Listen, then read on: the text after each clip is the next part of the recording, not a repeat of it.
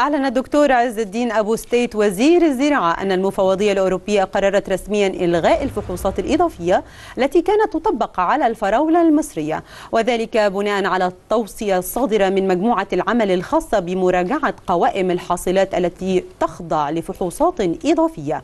وأشار إلى أن تلك الخطوة جاءت بعد التأكد من الإجراءات الحجرية والمعملية الجديدة التي اتخذتها مصر للحفاظ عفوا على جودة المنتجات الزراعية المصرية ورفع قابليتها للاستهلاك المحلي والتصدير.